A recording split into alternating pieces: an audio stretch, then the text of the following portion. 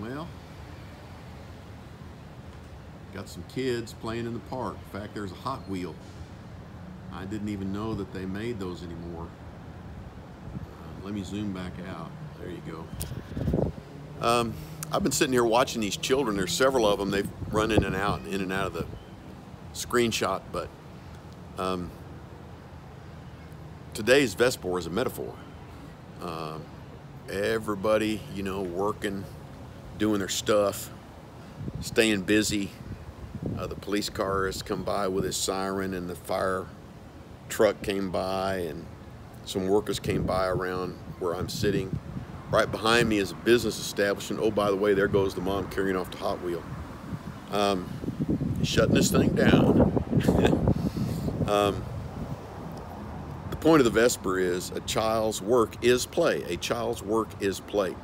I'm thoughtful of our friend and child of the church, Jackson Glenn, his wife Bristol, new baby. They're up there in Pennsylvania. He's playing double A professional baseball, the Altoona Curve. Uh, I joke with him and say, you know, the umpire doesn't come out and say work ball. He comes out and says play ball. I remind him how blessed he is that his work, he gets paid for it. His work is play. But he reminds me that his real work is the work of the Lord in sharing Christ and teaching the Word of God and enlarging the kingdom of our Lord. May the good Lord be praised. So, um, the point of the Vesper is this today um, uh, be a little more like a child, uh, take some time to play. Um,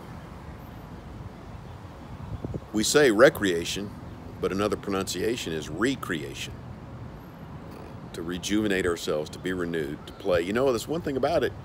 You may have to exhort and put a little pressure on kids to clean up their room or to brush their teeth or to clean their plate, depending on the child. But I've never known any child that you had to exhort or reprimand to get to play. Um, don't be too busy to have a little fun. Have a little fun. Uh, the old adage, I slept and dreamed that life was beauty. I woke and found that life was duty. While we all have our duties and our assignments, we should never be too busy to have a little fun and to play. God bless you. Have a good evening.